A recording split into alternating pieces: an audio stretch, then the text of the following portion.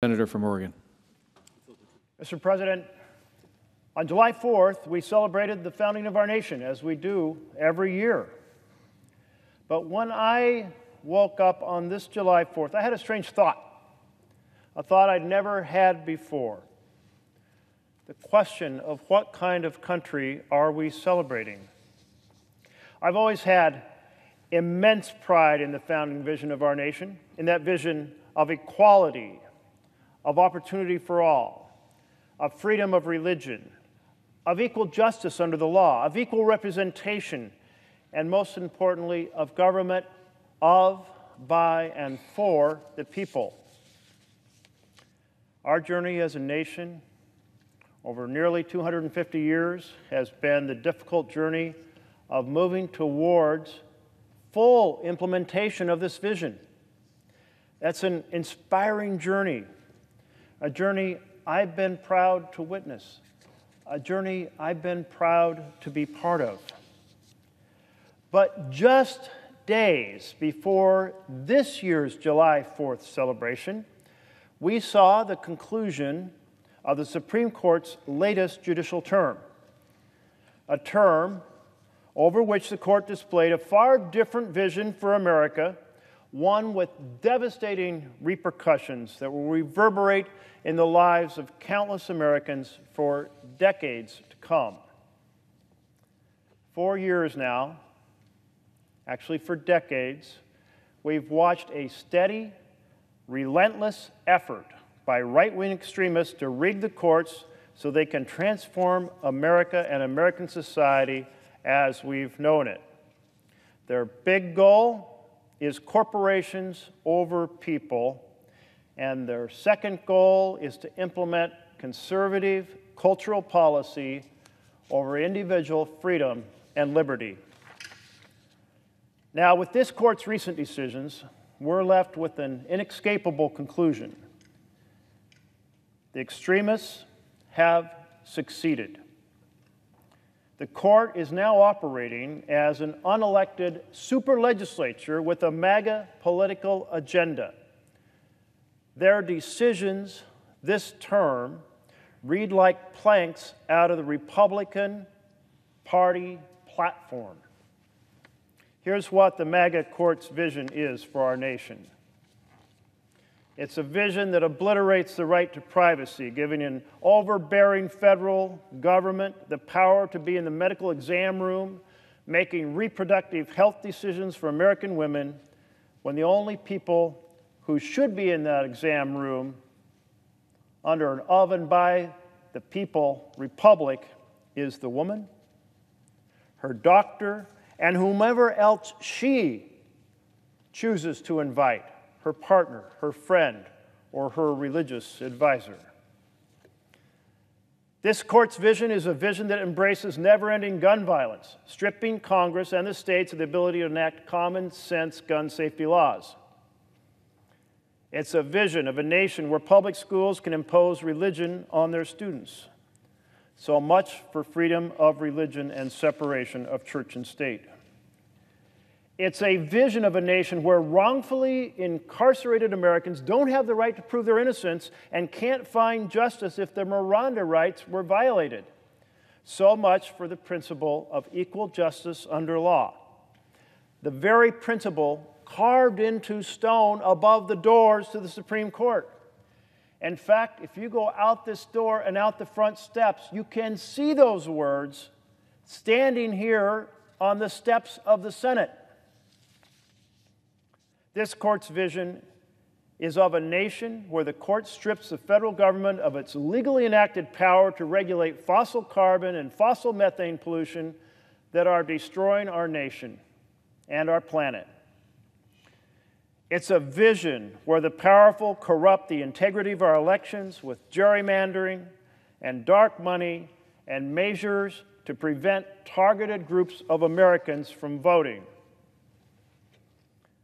This vision is a vision for a government by and for the powerful, not by and for the people.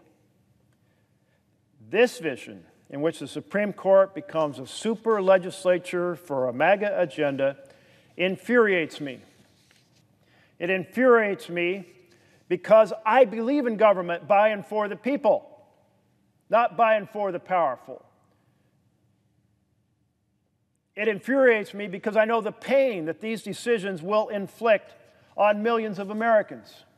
The pain of a woman forced by state government to carry a fetus to term that was conceived through rape or incest, or the pain of any woman for that matter who simply is unprepared to be pregnant or become a parent. The pain of every single person who will have to mourn the death of a loved one lost to an ever growing epidemic of gun violence and mass shootings, like we saw in Uvalde and in Highland Park and in countless other communities with more than one mass shooting per day.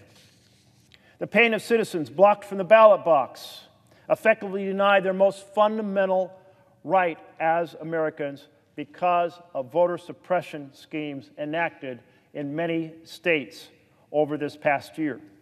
The pain of students in our public schools pressured to participate in religious acts in conflict with their own beliefs. The pain of rural Americans, ranchers and farmers whose farms and ranches will be lost to fire and drought because the court says the federal government cannot regulate fossil carbon and fossil methane causing climate chaos. And I'm infuriated because I know more Supreme Court decisions like these are coming from the six MAGA justices on the court. They want to cement their vision of America through super legislative powers rather than calling the balls and strikes defending the Constitution, which is their job. They've announced that next term they're going to hear a case on the fringe doctrine known as the Independent State Legislature Doctrine. It's been considered an extremist idea, which says only state legislatures have the power to make decisions about federal elections and how to appoint electors. State courts would have no power to ensure checks and balances or decide which decisions about elections violate a state's constitution or ignore the will of the voters nor could state governors veto such legislative decisions. And that's just the start. Justice Thomas himself said in his concurring opinion, based on the reasoning in Dobbs, he wants the court to consider a whole host of other rights secured and protected by previous courts, including the possibility of striking down the right to intimacy and marriage for same sex couples and the right to contraception. Make no mistake, this is not some sudden occurrence. It's exactly what the Federalist Society has been working toward for decades. Back before joining the court in 1972, Lewis Powell wrote about the need to rebuild the power of industrial elites and fight back from the college campus, the pulpit, the media, the intellectual and literary journals, the arts and sciences, and from politicians against progressive changes in society. Outlining a plan for rebuilding the power of big business, he declared that with an activist minded Supreme Court, the judiciary may be the most important instrument for achieving that goal. That's exactly why, as Majority Leader in 2017, Senator McConnell stole a Supreme Court seat from one president so another president could fill it. Stole it in 2016 and he filled it in 2017 with MAGA Justice Neil Gorsuch. It's why in 2018, Leader McConnell completely ignored credible accounts of sexual assault and rushed through a confirmation without giving senators access to the nominee's full records and bypassing committee quorum rules to fill another seat with MAGA Justice Brett Kavanaugh. And it's why, when a seat opened up in another election year, 2020, just weeks before the voters would vote, Leader McConnell completely reversed his argument that he had used to justify the theft of a Supreme Court seat in 2016, and he rammed through the nomination of MAGA Justice Amy Coney Barrett. The Republican Party has won one popular vote for president in the last 30 years, but appointed two thirds of the sitting justices who now see it as their job to become a super legislature for a cultural agenda and corporate power. In one of his columns, Eugene Robinson of the Washington Post described the resulting unelected, unaccountable majority of Supreme Court justices as a junta, a term used to describe authoritarian leaders who rule through edicts rather than legislative determination or deliberation on constitutional principles. It's hard to argue with Eugene Robinson's characterization. In spite of what the vast majority of Americans want, the protection of a woman's right to full reproductive health care, and more gun safety, not less, and free and fair elections, the court's MAGA majority have chosen to rule by Supreme Court edict to inflict their narrow preferences for society on hundreds of millions of Americans. And they're not just using the regular process for considering cases. Over the past five years, we've seen a monumental shift in the court's use of emergency orders, the so called shadow docket, to enact sweeping decisions on the American people. These cases don't get the full process we're familiar with formal briefings, formal hearings, lengthy deliberations, and opinion writings because it's argued that the applicant would suffer irreparable harm if their request was not immediately granted. The shadow docket decisions, by the way, are usually unsigned and unexplained. And in the past, they essentially involved death penalty cases, cases of literal life and death, of pretty much extreme importance to the applicant, because if someone is executed before their case is heard, they do suffer irreparable harm, the standard. But then, about five years ago, we started to see a big shift in the emergency cases being taken up and in the substance of them as well. We've seen the shadow docket used to stop the federal government from implementing vaccine and testing mandate on businesses to protect public health in the middle of an unprecedented global health crisis that has killed more than a million Americans. We've seen it used to uphold a Texas law banning abortion for after six weeks. We've seen it used when a lower court blocked Alabama's congressional map because it violated the Voting Rights Act by diluting the political power of black voters. And the court said, you've got to draw a new map that is fair.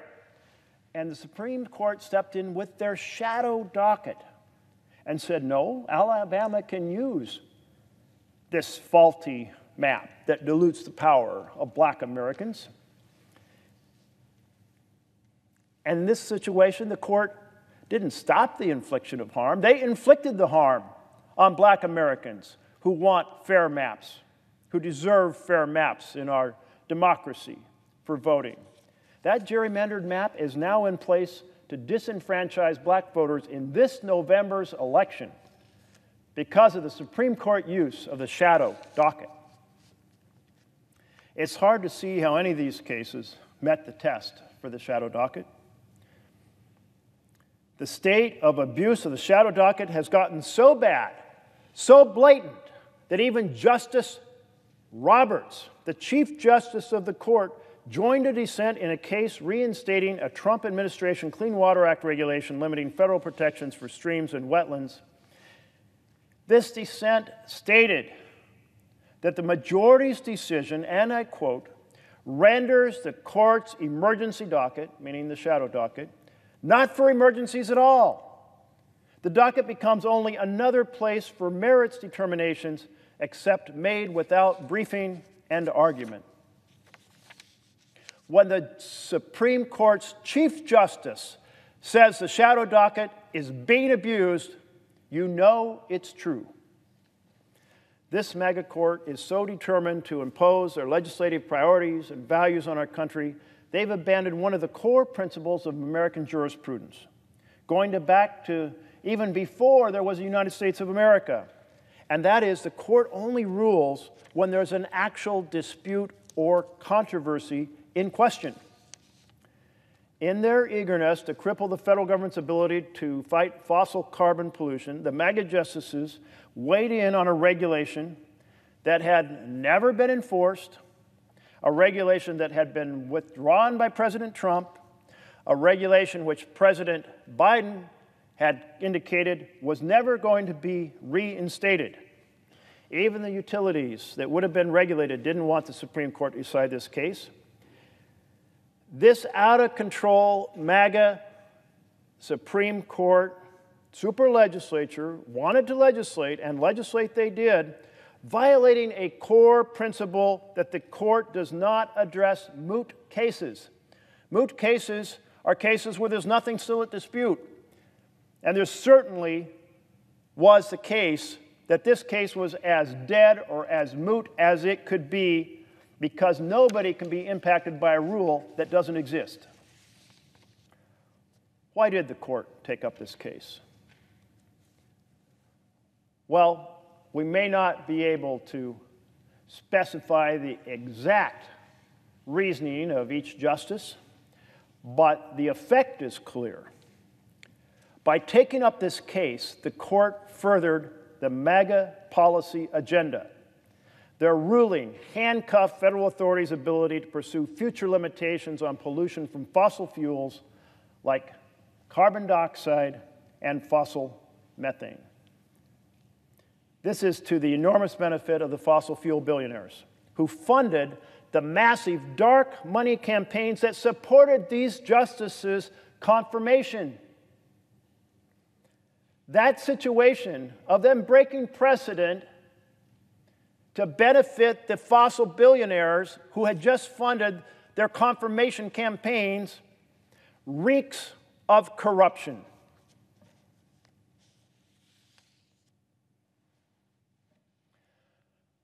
When generations ahead of us look back at this moment, I have no doubt, especially when they look at this year, 2022, and what the court did in a single year, they'll, they'll look back with a sense of profound disbelief.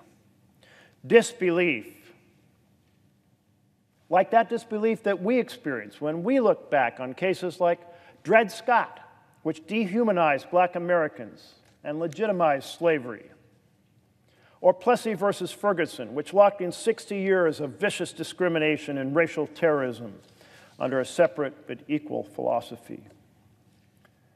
The disbelief that future generations will have will be directed at Dobbs, a decision this year in which the court obliterated privacy and put an overbearing government in charge of women's reproductive health. They'll have disbelief that in Kennedy versus Bremerton, decided this year the court destroyed freedom of religion in our public schools. Disbelief that in West Virginia versus the EPA, decision this year the court violated centuries of precedent to rule on a regulation no longer of books with the effect, perhaps the goal, of limiting future regulation of greenhouse gas pollution. Disbelief in New York State Rifle and Pistol Association versus Bruen decided this year that the court ruled that a state legislature can't require folks to have a good reason to carry a concealed weapon in public spaces. Let me be clear this activist, extremist, MAGA court faces a legitimacy crisis. And a legitimacy crisis for the court is a crisis for our democratic republic. And part of that illegitimacy is justice of the Supreme Court selectively using a doctrine of so called originalism to justify their politically inspired decisions. The doctrine of originalism is based on a reasonable argument. One, you and I would say that makes sense. A goal of understanding what the founders meant when they wrote what they wrote in our Constitution more than two centuries ago. But if that effort is applied selectively, it simply becomes a measure to justify, after the fact, where the justices wanted to come out. They use it when it works, they abandon it when it doesn't. For example, the founders wrote the Second Amendment to ensure that members of well regulated militias had access to their rifles. But the so called originalists on the court cast originalism aside to claim that the founders wrote that clause to ensure that non militia members have the right to bring assault rifles that didn't exist in 1787 onto subways, which didn't exist in 1787. That is bogus originalism in its purest form. Or consider this corporations, as we know them today, did not exist in 1787.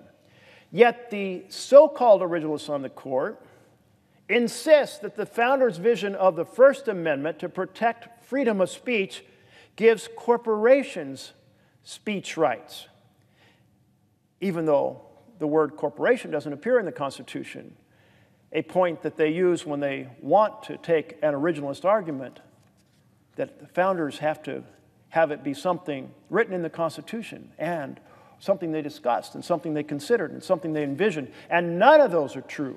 Not a one of them is true in this case. The MAGA court also claims that a corporation is a person, which no founder would ever have argued. They didn't even know what a corporation was because they didn't exist in this form that we have now. And the MAGA court goes on to claim that the members comprising the corporate personhood, that is, the stockholders of the corporation, have absolutely no right to know how that corporation that they are part of spends their money. This is absurdity stacked on the fallacy that a corporation is a person. I have yet to see, yet to hear any plausible explanation to how the MAGA justices can be confident that the founders intended billionaire CEOs to hijack the accumulated wealth of their stockholders without their stockholders' knowledge or permission or opportunity to know what's being said and to use that money as speech and spend it on secretly funded campaigns, including campaigns to confirm Supreme Court justices. The problem we face, colleagues, isn't just a MAGA majority court enacting terrible policy rather than defending the, the balls and strikes against the Constitution. The problem is greater. If the highest court in the land loses its legitimacy, law itself loses its legitimacy. If the American people see the Supreme Court justice making clear the law has no meaning other than their political preferences, then the law is not the foundation for our society that it is supposed to be. We have seen with deadly results on January 6th of 2021 the consequences to our policies, to our politics, and to our society when the rule of law is replaced by violence and power as the organizing principle for society. The court is essential in a society based on the rule of law. And it's essential to have a court that honors the law rather than trying to write the law. This MAGA majority and its desire and operation as a super legislature, unelected, lifetime appointments, is a dire threat to our republic. Here in Congress, we must not only shine a light, a spotlight on the threat, we must stop the runaway MAGA court from corrupting the rule of law and try to restore the legitimate role of the court as a panel defending our Constitution. Some will say there's no way to restore the court, and that any strategy for restoring the court will simply compound the problems we're now facing. And I agree that there is no simple way to restore the legitimacy of the court. Back in 2017, when then Majority Leader McConnell was striving to complete the theft of the Supreme Court seat taken from the administration of Barack Obama, I took to this floor for 15 and a half hours with one simple message don't do it. Don't do it. Because if you do, you will damage the legitimacy of the court, and there will be no simple path, no easy remedy to restore the court's legitimacy. But Leader McConnell, he doused the Supreme Court with gasoline on that day and he set it on fire. He did the damage. I stood here for 15 and a half hours and said, Don't do it.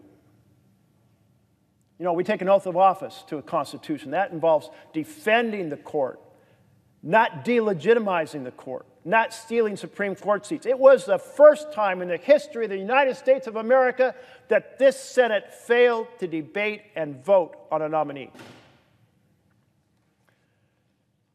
But here we are. The damage is done. What do we do now? When an arsonist sets fire to your house, you don't let it burn because you're worried about water damage. You have to strive to put out that fire, regardless of how difficult the task. So I say to you today, we cannot accept a defeatist attitude that fails to confront the forces destroying our republic. There are two things we must do. Mission one we have to reform the ability of this broken Senate to serve as a legislature because if it serves effectively as a legislator, it can serve as a counterweight to decisions of a corrupted court. The second thing we have to do is put all options on the table and debate them for directly reforming the court, recognizing that we are left with difficult choices on how to do that. But we have to step up. It's necessary to save our republic. So let's take each of these missions in turn. The first is to restore the Senate. Our goal restore the Senate as a legislative body to serve as a counterweight to the corruption of the MAGA majority court. There are three massive problems currently afflicting the Senate's ability to serve as a functioning legislative body. First, we spend virtually all of our time on nominations. So much time, it keeps us from doing much legislating, even though we have a massively complex society and a lot of possibilities for making it work better. When George Washington was assembling his first administration, he had to appoint, and the Senate had to confirm, four cabinet positions Secretary of War, Secretary of the Treasury, Secretary of State, Attorney General, four positions. Today, the Senate is responsible for confirming over 1,200 presidential appointments to executive branch positions and commissions. Now, in the past, both parties work to exercise the Senate's advice and consent responsibilities in a manner that minimized the amount of Senate time required. Most were done by unanimous consent late at night when practically anyone was here because most nominations are not ones to which anyone has an objection. In the entire decade of the 1960s, there was one vote required to close debate on a nominee. One, an entire 10 years. But last decade, that number went to 545. And now it's like every nomination, virtually every nomination, we have to file to close debate and vote to close debate before we can vote on the nominee. And you know what? The way it works, you can also require 30 hours of debate after the vote to close debate succeeds. So, the rules, which were designed for exceptional situations where there's a significant objection, are now used as partisan obstruction. Democrats are in the minority, they want to tie up the Republicans, so they have little time to legislate. Republicans are in the minority, they want to tie up the Democrats, so they have little time to legislate. They want each other to fail. partly because they disagree and partly because they know if the other side succeeds in making something work, the, work, the voters might reward them at the ballot box. We have to massively streamline this nomination process. We have to, 100 senators, work together, not do what is best for us when we're in the majority and oppose it when we're in the minority, or vice versa. We all have a responsibility to completely streamline that process so we can return to being a legislature. The second big problem for the Senate is that the rules provide a complicated, time consuming process for debating and voting on whether to debate a bill. It involves a motion to proceed, a requirement to close debate on the motion to proceed, and with nominations up to 30 hours of additional debate, all on the question of whether to debate. You have a hundred capable people sent here by their constituents in their various states to solve problems for America, not to spend a week debating whether to debate a single bill. That could be a week spent debating the amendments that could make the bill better. A week spent considering individual pieces of the bill so the public knows where we stand and there's public accountability. But instead, we have partisan paralysis, a completely dysfunctional Senate. That's what we have. We have to change the rules to stop this completely meritless waste of the time and efforts of 100 senators. It's an easy solution. One hour spent debating whether to debate a bill, and then a simple majority vote. Either we go to the bill or we don't. Easy solution. One hour makes much more sense than one week. The third big problem this Senate chamber faces is a secret, silent filibuster. Under a Senate rule, and by the way, the term filibuster is really inappropriate because this involves no speaking of any kind. Under the Senate rule, 41 senators can, operating as a block, veto the opportunity for the Senate to debate a bill, veto the opportunity for the Senate to consider an amendment, and veto the ability, after amendments have been considered, to have a final vote on the bill. It's the triple veto. Three opportunities for the minority to blockade the majority from being able to consider legislation to address the issues facing America. And both parties are tempted to use it when they're in minority. We have to restore the ability to actually debate. It's exactly what the founders feared.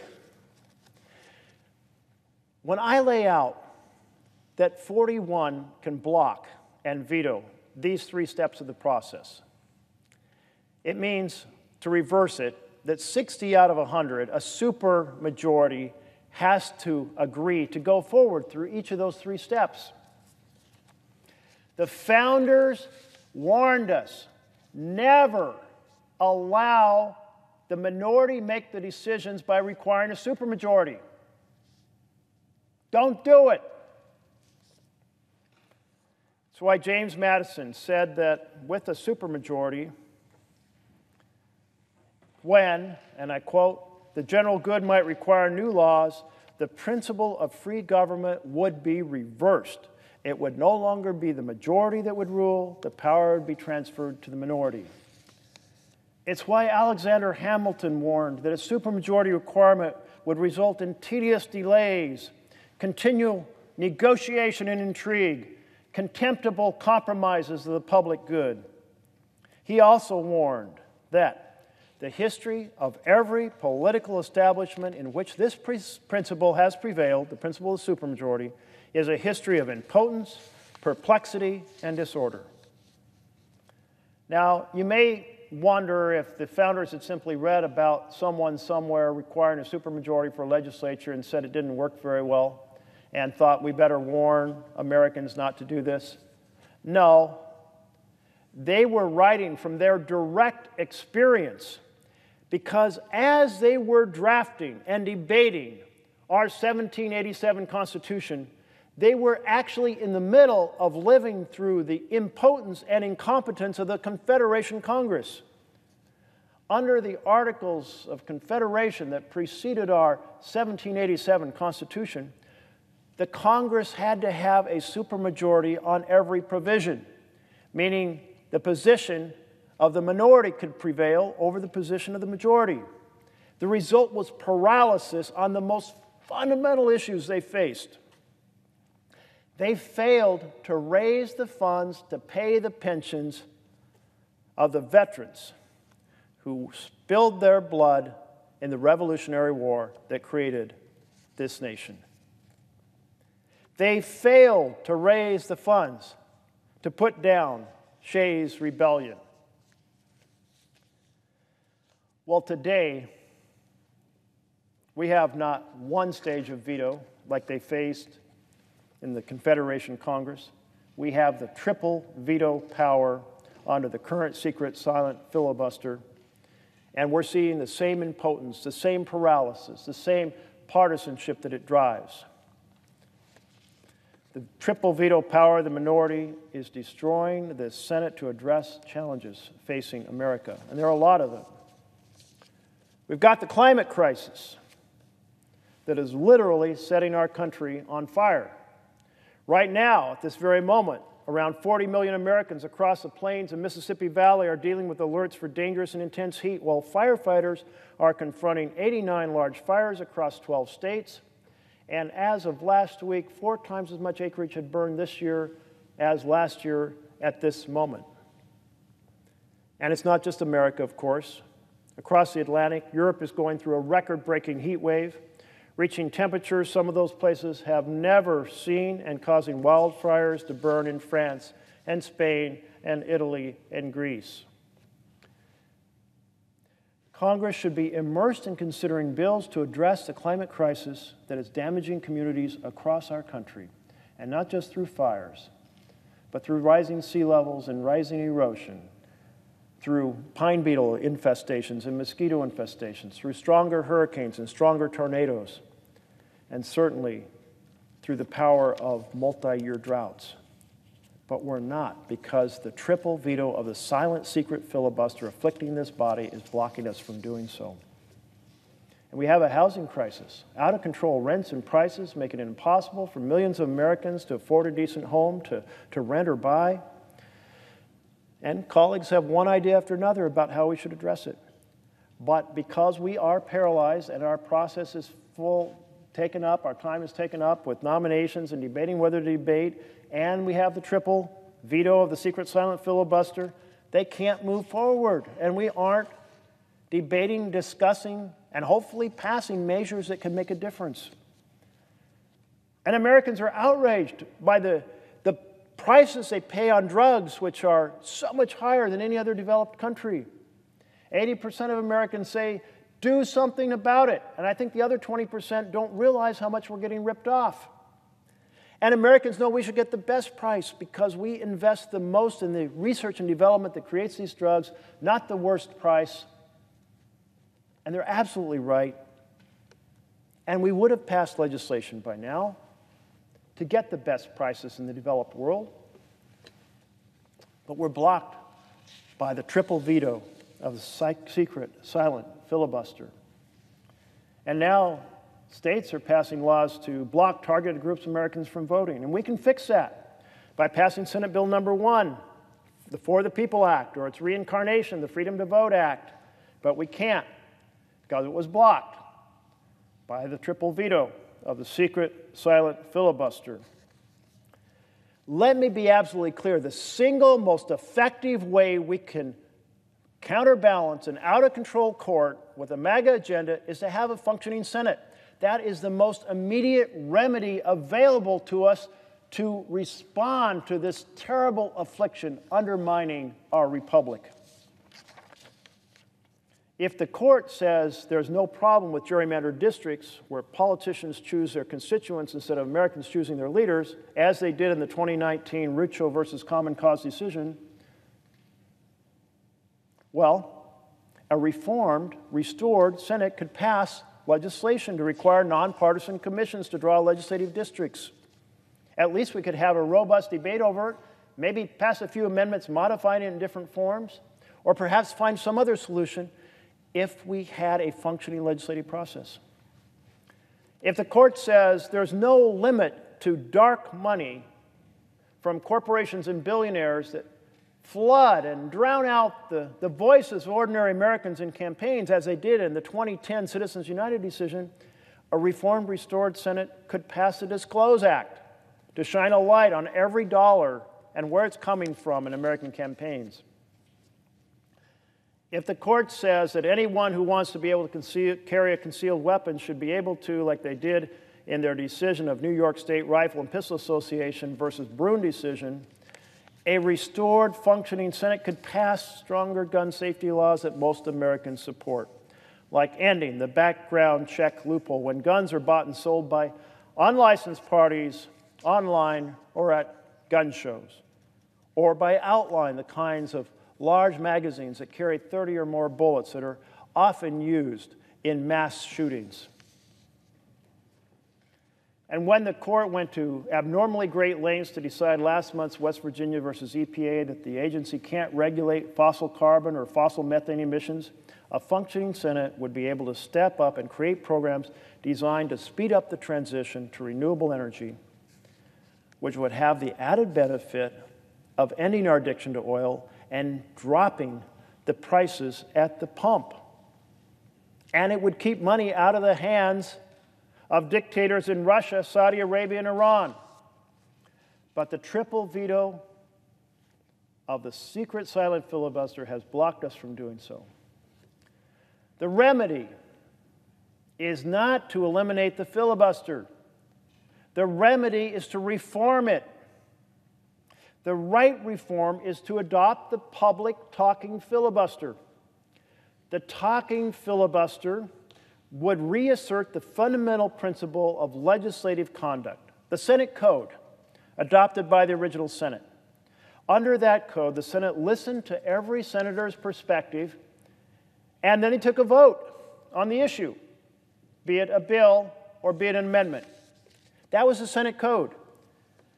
The original rules provided that every senator had the right to speak twice to a question. It was rule number four in the original rules. It's in our rules today. But the spirit of that code, listening to each senator and then voting with the majority winning, not losing, that part's gone. Now it's the minority that can exercise a triple veto a veto absolutely exactly the opposite of what the founders said to us. They said, don't do it. And we've done it in triplicate form, paralyzing this place and accentuating the temptation of yielding to partisanship rather than problem solving. Jefferson did say that this rule, this code of listening to every senator before he should not be abused.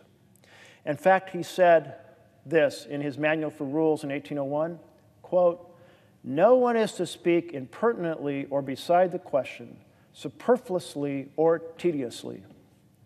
It worked for the founders. They exercised some self-control. So much so that they didn't need the rule that they had to close debate they just simply listened to everyone with mutual respect and then said, okay, let's take a vote. You want to see that in action today? Watch the committee process on a bill with amendments. There's no one filibustering, speaking forever. There's no one requiring a supermajority to close debate in committee. They operate, we operate in committee much like the original Senate, and it works pretty well. But we have completely lost that discipline when it comes to debate here on our floor. So, the early Senate had a rule for the previous question motion to close debate or accelerate the closure of debate. And when they rewrote the rule book, and Aaron Burr was in charge of it in 1806, they dropped the rule because they never used it, didn't feel they ever needed it. Well, we need to reclaim that vision, and our rules have gotten so crazy, so out of whack, that we encourage partisanship and paralysis rather than problem solving. Let's fix that. So let's have the talking filibuster.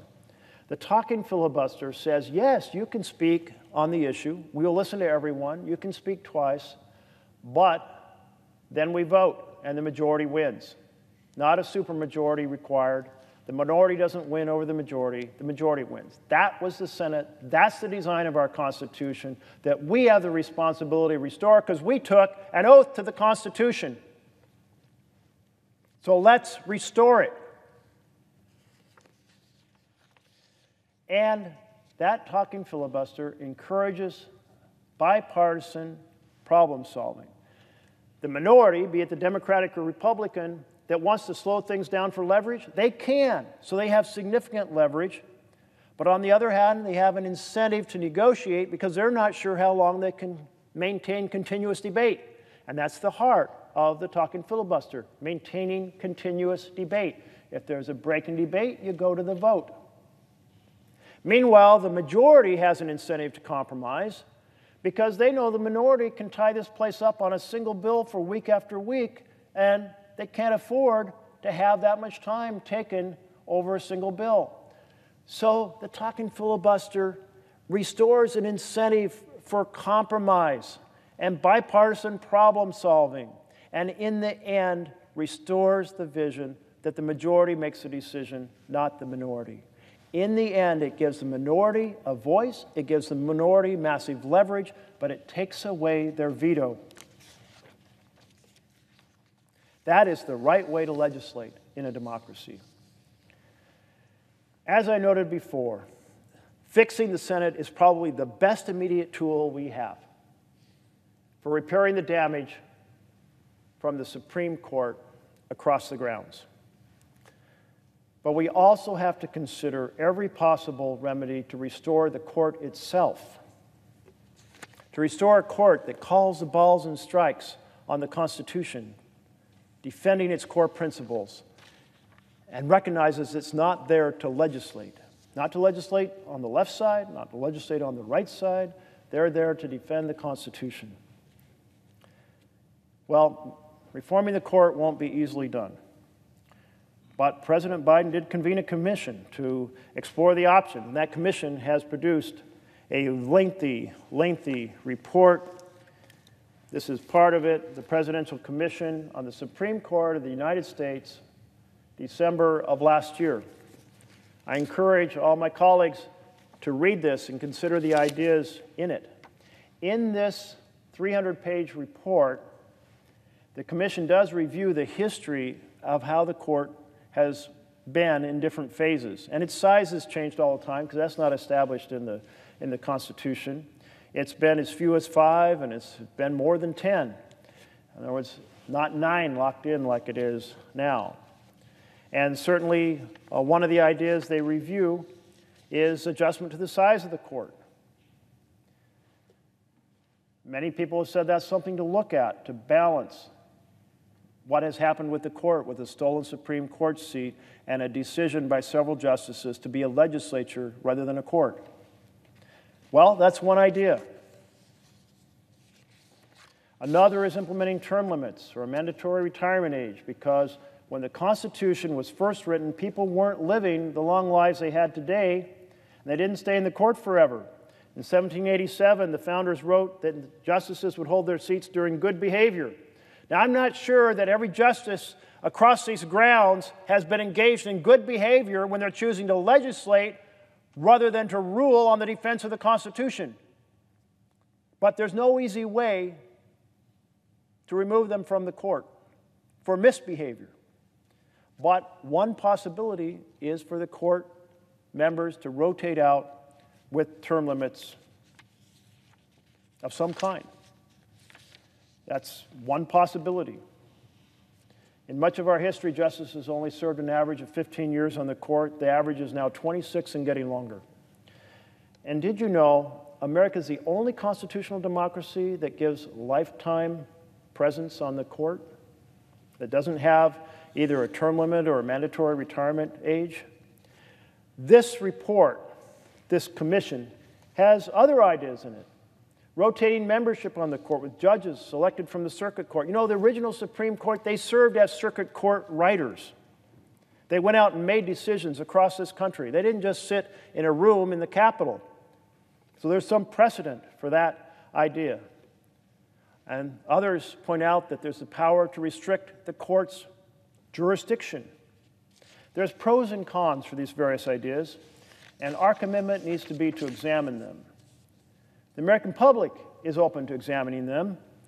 Earlier this week, the Fox News poll reported that 66% of the folks in their poll support an 18 year term for justices, and 71% support a mandatory retirement age. So the American people are open to trying to fix the challenge with the court. We have to be open to fixing it, and we need to look at every option and idea very carefully to ensure that the highest court in our land fulfills the vision for it in our Constitution. And the vision in our Constitution was not that it would be an unelected super legislature. Colleagues, this is a perilous moment for our republic. It's a moment when the will of the people is being overrun by an extreme agenda of a court legislating from the bench imposing their narrow and precedent destroying will on all Americans. We have to restore the ability of this Senate to operate as a legislature that can be a counterbalance to what the court does.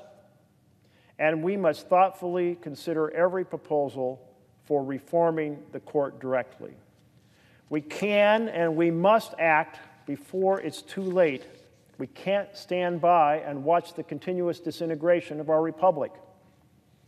Our oath to the Constitution demands that we protect these institutions and repair them when they go off track. And when we do, then next July 4th, we can all join together to celebrate the restoration of our paralyzed and partisan Senate into an actual legislative body we can celebrate the restoration of Americans' rights that are being continuously stripped away across the grounds by the Supreme Court. We can have a renewed belief and confidence in the integrity of all of our institutions and our democratic form of governance. That would be a moment justifying a massive celebration next July 4th. Thank you, Mr. President.